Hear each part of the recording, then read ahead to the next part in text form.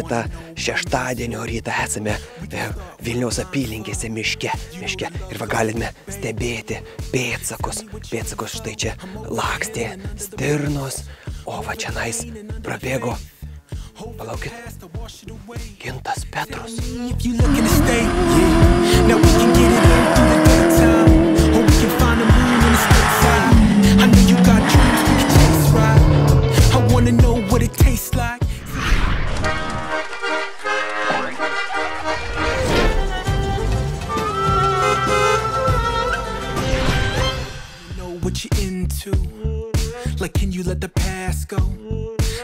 Tell by their heartbeat. Akumuliatorių gale su Štil. Meilė HD pristato vokiškos kokybės pastiprintos konstrukcijos važiuoklės dalis.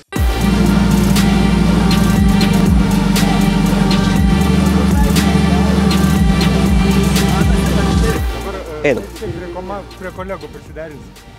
Labas rytas, sveiki jaunuoliai. Sveiki. Smagu matyti, kad pas jūs už nugarų stovi įdomius technikos vienetas, e, atrodo kaip bagis ir turbūt tai ir yra bagis. Atrodo kaip bagis ir turbūt ir yra bagis. Labai gerai. Gintai iškeitėte savo Hiluxą į naujesnės generacijos, sakyčiau, automobilį, kuris yra visai neblogai svertas ir e, galbūt lengvesnis už prieš tai buvusį modelį. Na tai jisai kaip Hiluxas ant dietos, minus 25 procentai svorio. 500 kg numetėm per vasarą, tai gerai sportavom gal. Ar yra kažkokie dietos reikalavimai iš turmanai? Ne, šturmanas kol kas dietos nesilaiko. iGauto Dakar turi unikalią galimybę pirmą kartą paliesti Ginto Petraus bagį iš vidaus. Viskas galiu ramiai miegoti.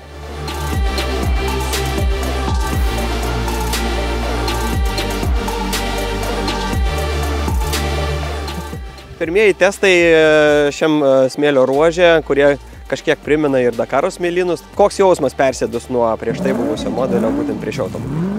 Eina kaip raketa, tai reikia atsargiai spaust gazą, bet po truputį pratinamės, pratinamės ir šitas žvėris važiuos.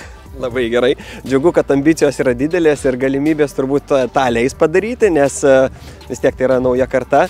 O kaip manote, gintai, kiek laiko dar reikia jį prisijaukinti, ar jau iš tikrųjų jisai paėmė ir prilipo kaip koinė? Manau, porą etapų reikės ramiau važiuoti, kad e, nepersistengti, o jau paskui galėsim išsivažiavę ir, ir gal ir geresnį rezultatą parodyti. Bet pirmą dieną tai reikia taip ramiau, ramiau. E, Povilai, su gintu esate važiavę Afriką koreis ir jau patirties kartu, kaip ir komanda, susidirbti turite, bendravę, važiavę. E, kelintas pačiam Dakarui, turbūt pirmas? Dakaras taip bus pirmas. Tai kaip ir krikštas, galima sakyti, iš vienos pusės automobilio bus galima klyjuoti rūkį lipduką, o iš kitos pusės jau galbūt ir legenda, nes e, Afrika koreis tai vis tiek tai kaip ir Dakaro tesinys yra. Nu kaip perimetras tik didesnis. Truputį.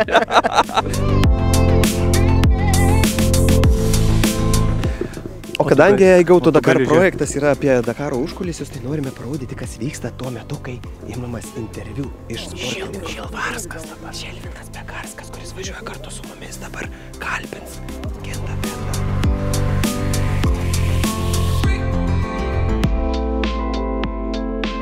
Dabar pakalbėkime apie patį automobilį. E, kas tai yra per versija, modifikacija, kokia širdis jame plaka ir aišku, kiek jinai degalų ryja. Degalų tai dar neskaičiavom, tai dar reikia testus atlikti rimtesnius, bet širdis tai Chevroleto.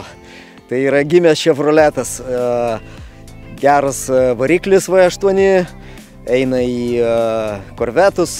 Nu, manau, kad jam galios užtenka. E, Čia daugiau klausimas, kaip tą galę suvaldyti. O, o pats, pats e, automobilis ir e, jo konstrukcija tai tikrai yra e, stipresnė negu mes.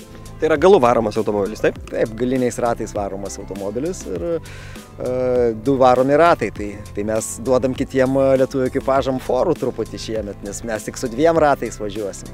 Na, bet bent jau patirtis rodo iš e, praėjusiai sausį vykusio Dakaro, kad galų varomi automobiliai iš tikrųjų duoda malkų keturiais ratais varomiems automobiliams. Automobiliai gal ir duoda, bet ir nuo vairininko priklauso truputį. Tai pirmose lenktynėse, manau, tikrai atsargos yra. Kiek paskui mes sugebėsim ją išnaudoti, tai jau čia bus laiko klausimas. O a, pradžioje tikrai automobilis yra stipresnis negu mes. Povilai, o pačiam Dakarė jau vis tiek su navigavimo ypatumais esat susipažinęs. Ar yra kažkokių skirtumų nuo Afrikoje, kuriais, ar tai yra visiškai tas pats? Nu, kelio knyga tik tai, kad bus išduodama tą pačią dieną prieš pat varžybas. Tai, va, sakykime, nebus tų visų pasižymėjimų, pasižiūrėjimų, ten sudėtingų vietų. Tai važiuosim kaip ir visi.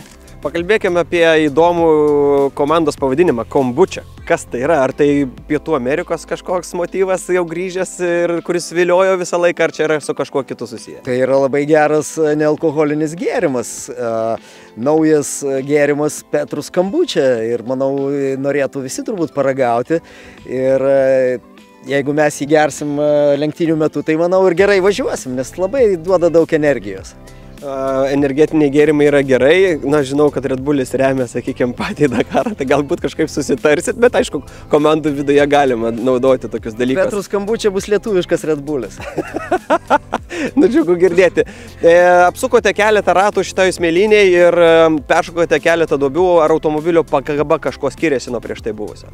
Taip, tai čia kaip e, kosminis laivas lyginant su, su senu e, Hiluxu. Pakaba minkšta, pilotas labai jaučiasi komfortiškai, nugara labai gerai ilsisi, tai, tai tikrai yra e, didesnis komfortas važiuoti tokiu automobiliu. Paskutinis klausimas, kuris visus neramino skrydžiai, kurie tai buvo, tai pradingo, tai kažkas kažką galvojo. E, tai kokį variantą pasirinkot? Skrendat čarter ar vis dėlto viešomis avialinijomis? Dar iki galo nepasirinkom. Turėjom bilietus e, su turkais, kurie perkeitė tvarkaraštį, tai dar e, galvojam. Yra galimybė matyti ir organizatorių čarterį rinktis, yra gal galimybė ankstesnį reisą e, su komercinė avialinija. Tai pasi, pasitarsim dar su komanda ir spręsim kitą savaitę matyti. Tai kurią dieną mes pasimatome Saudo Arabijoje džedai? Nu, manau, jau naujus tai tikrai sutiksim kartu, o kada atskrisim, e, nežinau, vėliausiai 30 dieną turbūt reikėtų atskristi. Gerai, tai priimam mes tą kvietimą sutikti naujus kartu su Gintu Petrum ir Povilu ir jų naujojo automobiliu. Sekite mus ir iki pasimatymo.